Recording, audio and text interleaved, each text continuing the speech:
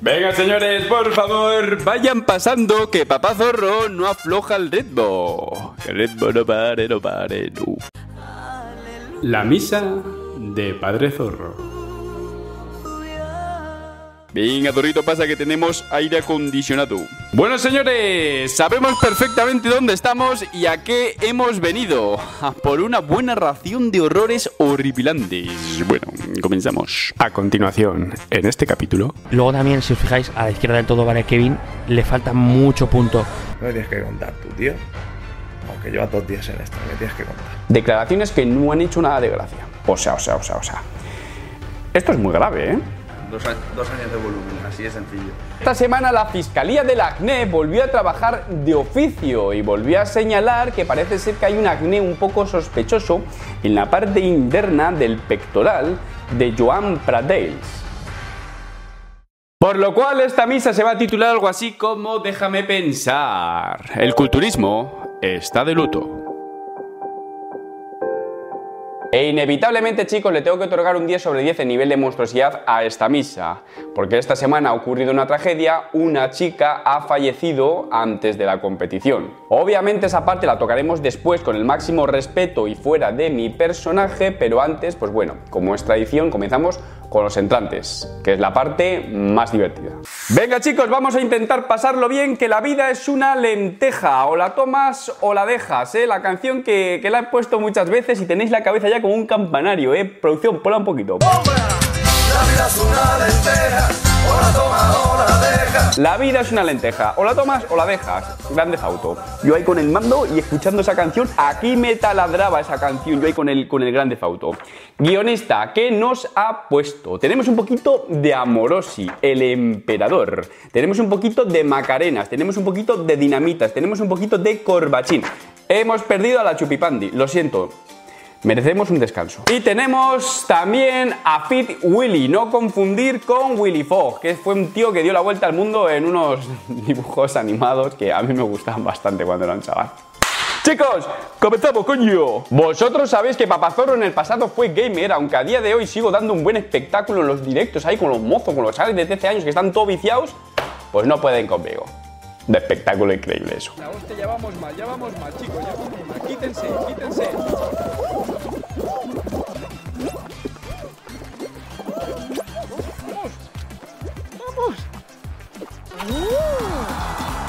Tercera ronda, chavales. La cosa es que yo en el pasado fui muy friki de un videojuego de la Nintendo 64 que se llama GoldenEye 007.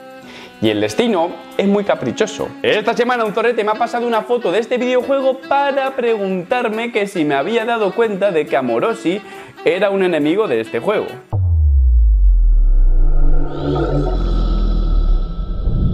¿Veis cómo el destino enlaza todo? Parece que hay un guionista en la comunidad business, ya estaba completamente todo hilado. Yo de chaval jugando a este videojuego y el destino dejándome como pequeñas pistas de lo que me deparaba en el futuro. Me preparaba para lo peor. Una buena hostia. Hasta que se lleva una buena hostia, claro. Semanas atrás veníamos avisando que el señor Corbachín tiene un pezón un poco travieso, un poco loco. El problema es que esta semana se puso muy peligroso ese pezón. Yo estaba viendo estas imágenes y estaba pensando, a esta chica le van a saltar un ojo. Esta muchacha cada vez que duerme con Corbachín se está jugando un ojo. De verdad que yo estaba mirando las imágenes y pensando, se lo va a meter en el ojo, ¿eh? Esta semana tenemos un poquito del dúo Calaveras, el dúo formado por el Dinamitas y Macarenas donde pudimos ver una publicidad que si te la enseño tú dirás, no pasa nada. Tú habrás dicho, yo no veo nada raro, papazorro. Producción, ponte un zoom. Si te pongo un zoom y te amplío la cara del Macarenas, aparte de ver que tiene cara de buen psicópata, secuestra niños, parece que está pensando, ¿habré apagado el horno o no? Muchas veces hemos escuchado que más vale maña que fuerza, que la violencia no es la solución. Muchas veces lo hemos escuchado y muchas veces pues no, no, tienen razón. Estaban los bomberos intentando acceder sin mucho éxito hasta que aparece un héroe, un hombre que parece, bueno, pariente lejano del Yeti. Lo mejor de todo es que dice, está abierto, con una voz que le sale como de la profundidad de las catacumbas de su garganta, como demasiado, está abierto. A tomar por culo. Está abierto. Ese es el puto amo ese tío, ¿eh? Siguiente entrante, señores, y voy de frente, voy de cara, no os voy a mentir. Este entrante tuvo que haber salido en la misa pasada, pero el guionista no me lo puso. Bueno, que se me olvidó, coño, ¿vale? Entonces lo meto esta semana. La semana pasada pudimos ver a un clon de papá zorro que se va a tirar al agua y bueno, sufre un pequeño percance. Esta semana también nos ha dejado momentos conmovedores como la pedida de mano por parte de un culturista inflamado a su bella damisela.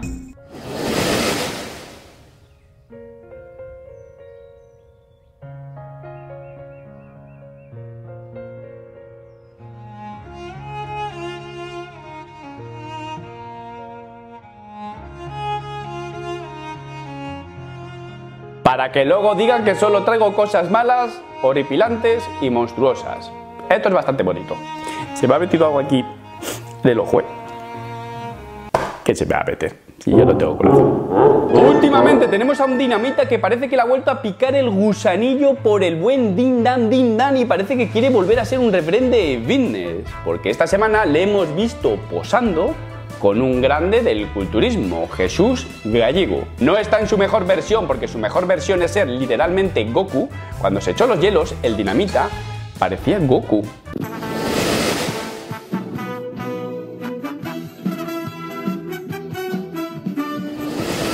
Esta semana la Fiscalía del Acné volvió a trabajar de oficio y volvió a señalar que parece ser que hay un acné un poco sospechoso en la parte interna del pectoral de Joan Pradels.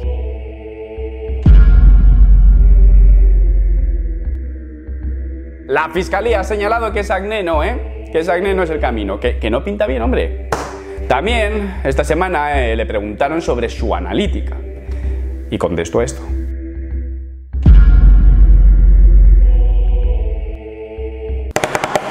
Bueno señores, llegamos al punto álgido del vídeo, al núcleo del incendio, a la perlita más brillante de esta corona. Comenzamos. Y esta perlita la vamos a dividir en dos partes. Por un lado tenemos la parte seria, el fallecimiento, la noticia de la muerte de Alena Hadbani y por otro lado tenemos una polémica en torno a Fit Willy. Vamos a comenzar con la polémica de, Fit Willy. Fit Willy es un culturista que no termina de cuajar dentro de este mundillo. Digamos que los culturistas más veteranos, más curtidos en miles de batallas, no terminan de cogerle el puntillo, ¿no? Hace unas cuantas misas ya le trajimos en otra polémica en torno al precio, al coste de su preparación. La cosa es que esta vez la polémica es más horripilante. Esta semana Fit Willy subió un vídeo que dice así, culturismo en estado puro. Es un vídeo que sale él comentando este evento y digamos que tiene unas declaraciones un poco desafortunadas sobre un competidor. Eh, tenemos a la izquierda a Kevin Orellano, que, eh, que tiene unas piernas de locos, o sea, una puta pasada pero hasta, hasta me parece que hasta excesivo porque también se busca la armonía y fijaros que es que no le, no le corresponden a, a, su torso. Luego también, si os fijáis, a la izquierda del todo vale Kevin, le falta mucho punto. Fijaos lo que os decía, de, de está, está, todavía hablando, tío. Si os fijáis, Kevin está sudando un montón. Y no sé cómo habrá hecho la, la puesta a punto, pero cuando una persona suda mucho en tarima, es porque la puesta a punto no ha sido demasiado buena por, por algo en concreto, porque hay agua. Entonces, si hay agua, sudas. Si no hay agua, no sudas. La cosa es que tuviera intención o no de ofender, ofendió. Y digamos que el culturismo le ha atizado con una chancleta bastante dura. Ha recibido muchísimos ataques personales y muchísimo desprecio como culturista. En plan, ¿tú quién eres para opinar de Kevin, no? La cosa es que el bueno de Kevin salió a su defensa con unas declaraciones duras y bastante directas. Al corazón de Fit Willy. Mira, te voy a comentar una cosa. Lo primero que se tiene que hacer en este deporte es tener respeto. ¿Vale? No puedes estar aquí porque da la sensación, ¿vale? De que estás encubriendo a coleguitas, cosas, gente que te interesa alabar con tus 12.000 seguidores o los que tengas en YouTube, ¿vale? Para coger y promocionarlos y cuando estás constantemente hablando de mí, tío, ¿vale? Porque ni siquiera me conoces, ¿vale? Y no tienes por qué estar hablando de mí constantemente. No estoy en la puta esquina, me tienes que decir tú que si las piernas no corresponden a mi torso, que si estoy sudando excesivamente, que si mi carga, que si no sé qué. No me tienes que contar tú, tío. Vamos, que lleva dos días en esto, no me tienes que contar. Voy a empatizar con el bueno de Kevin y sí que es comprensible que le molestase lo de que sus piernas no corresponden a su torso. Creo que hay Fit Willy patinó. pero creo que no tenía maldad. La cosa es que quizás ya había un pique previo entre ellos, no lo sé, lo que sí que sé es que a Fit Willy le está costando mucho su andadura dentro del culturismo. Visto la que le estaba cayendo y que la tempestad estaba azotando muy fuerte, no tardó en sacar un vídeo haciendo unas pequeñas explicaciones. Vale, señores, pasamos ahora a la parte más seria, la parte más triste de este noticiero Fitness, el fallecimiento de Alena Hadbani, una culturista checa que francamente eh, era muy buena, tenía un palmarés bastante, bastante potente. La cosa es que iba a competir en Alicante y falleció antes de la competición. Todavía se tiene que esclarecer las causas de la muerte. ¿Y por qué estamos aquí reunidos cuando es raro que yo hable del fallecimiento de alguien? Porque son temas que no me gusta tratar porque creo que, bueno, se tienen que tratar con pies de plomo, máximo respeto para los familiares. Estamos aquí porque a raíz de este fallecimiento ha surgido una polémica en torno al presidente de dicha asociación. Hay una página que se llama Memes Gym, que es una página que reparte estopa como si no hubiera mañana, y últimamente digamos que está teniendo algunos roces con Emilio, que debe ser el presidente de dicha asociación. En esta historia señala lo siguiente, y son cosas bastante serias. Organizas un evento, no contratas los servicios básicos que se requieren, y te ahorras ese dinero para llevarlo a tu bolsillo. Pero no te basta con eso, que ahora organizas también una recaudación de fondos para mandar a su casa a la pobre mujer, para repatriar el cuerpo, ¿no? Para devolver el cuerpo a, su país, ¿no? De origen. Te ahorras el dinero, lo guardas y le pides a la gente que subsane tus estafas. O sea, o sea, o sea, o sea. Esto es muy grave, ¿eh? Eres lo más miserable que he conocido y he visto en este deporte, don Emilio. Con H e Y, pues para ridiculizar un poco su, su nombre, ¿no? Después señala, ojalá te denuncie la familia del atleta como tengo entendido que van a hacer y se te caiga el poco pelo que tienes, un palumpa de los cojones. Duro, duro, duro, ¿eh? Después hace una captura de una historia de Cisco Serra, que es alguien muy conocido en este mundillo, para señalar lo siguiente, ¿no? Claro que la competidora tiene la responsabilidad y sabía dónde se metía con ese preparador, pero para eso existen las ambulancias y los servicios médicos en los eventos. Parece ser que la policía está investigando y han llamado a la IFBB de España para saber lo ocurrido, la cual tuvo que mandarles un comunicado diciendo que ellos en Alicante no hicieron nada, que es la NPC del Emilio, otra vez con H.